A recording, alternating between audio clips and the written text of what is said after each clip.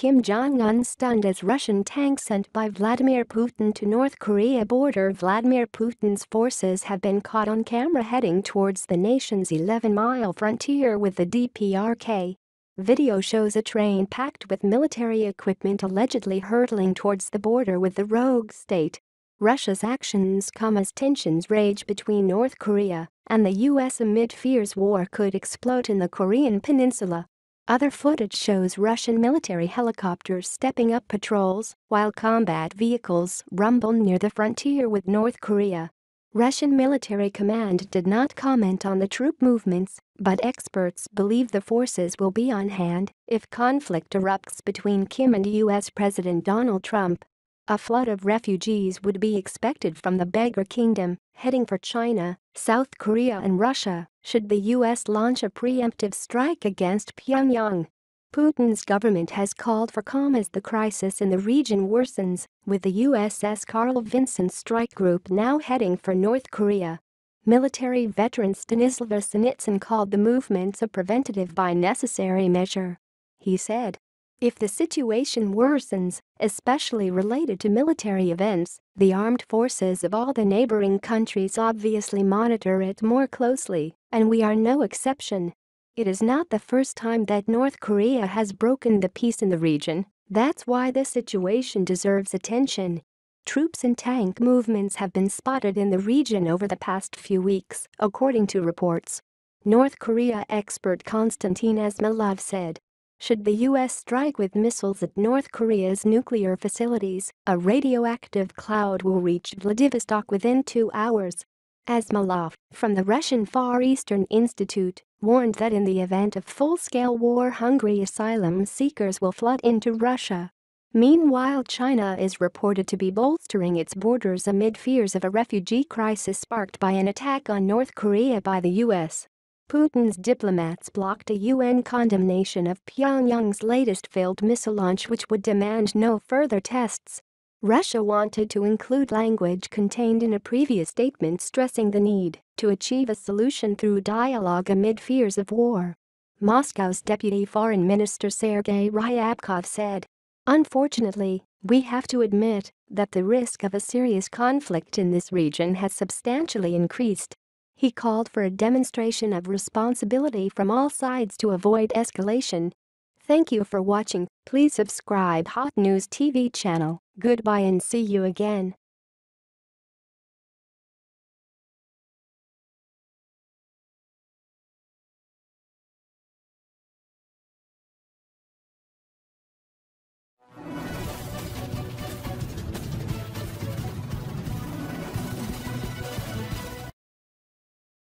Kim Jong-un stunned as Russian tanks sent by Vladimir Putin to North Korea border Vladimir Putin's forces have been caught on camera heading towards the nation's 11-mile frontier with the DPRK. Video shows a train packed with military equipment allegedly hurtling towards the border with the rogue state. Russia's actions come as tensions rage between North Korea and the US amid fears war could explode in the Korean peninsula.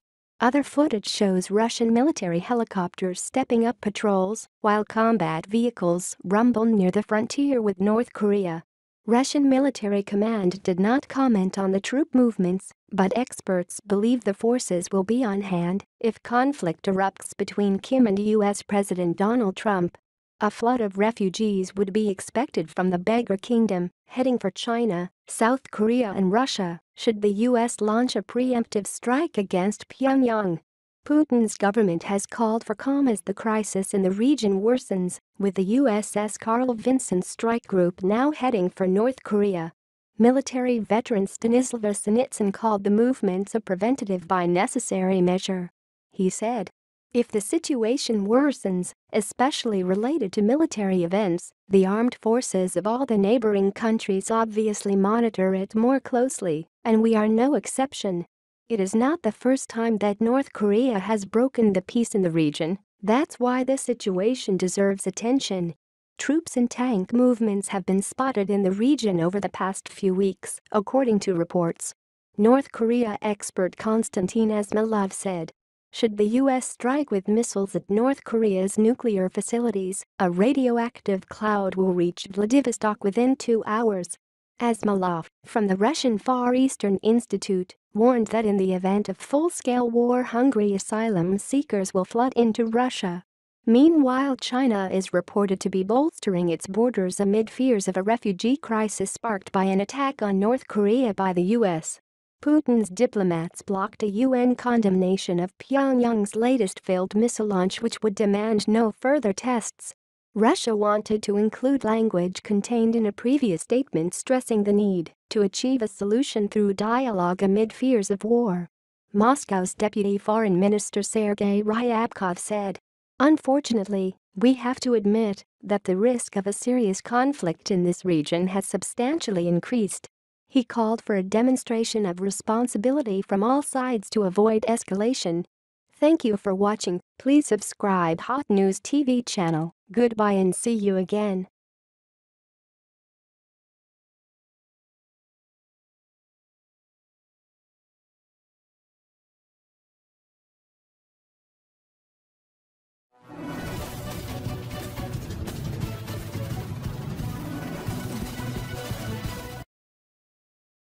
Kim Jong-un stunned as Russian tank sent by Vladimir Putin to North Korea border Vladimir Putin's forces have been caught on camera heading towards the nation's 11-mile frontier with the DPRK.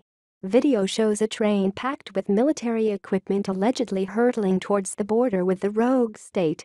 Russia's actions come as tensions rage between North Korea and the U.S. amid fears war could explode in the Korean peninsula. Other footage shows Russian military helicopters stepping up patrols while combat vehicles rumble near the frontier with North Korea.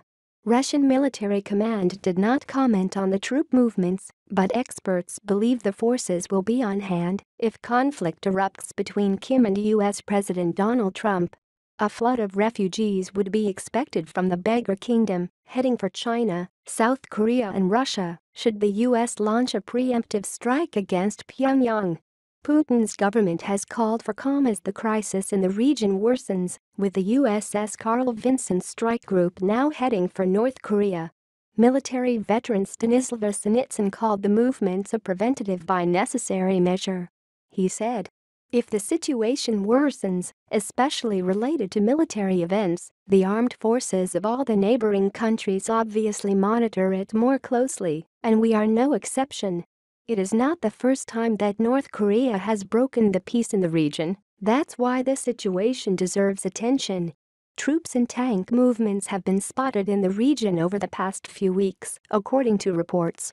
North Korea expert Konstantin Asmolov said, should the U.S. strike with missiles at North Korea's nuclear facilities, a radioactive cloud will reach Vladivostok within two hours.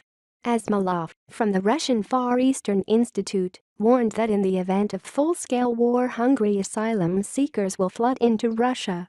Meanwhile China is reported to be bolstering its borders amid fears of a refugee crisis sparked by an attack on North Korea by the U.S. Putin's diplomats blocked a UN condemnation of Pyongyang's latest failed missile launch which would demand no further tests. Russia wanted to include language contained in a previous statement stressing the need to achieve a solution through dialogue amid fears of war. Moscow's Deputy Foreign Minister Sergei Ryabkov said. Unfortunately, we have to admit that the risk of a serious conflict in this region has substantially increased he called for a demonstration of responsibility from all sides to avoid escalation. Thank you for watching, please subscribe Hot News TV channel, goodbye and see you again.